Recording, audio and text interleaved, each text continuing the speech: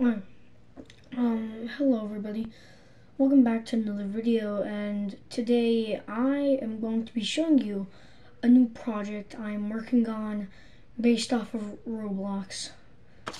So, I'm trying to make a door for Seek from the popular game Roblox Doors, which I've already got the door and the door handle I know the number for the door it is 36 and I've also got my little person that's going to be standing behind the door. So whenever you open the door Seek is going to be behind there and it will be like a little cool little miniature stand of Seek's little door. So hopefully you guys like the progression of it each time I post about this growing and getting even better.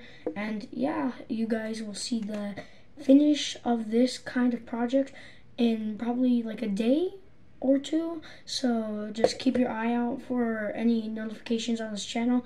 Hit the bell and like and subscribe if you guys want more content like this, more creations from Roblox. And yeah, this is my project I've been working on for you guys. Goodbye.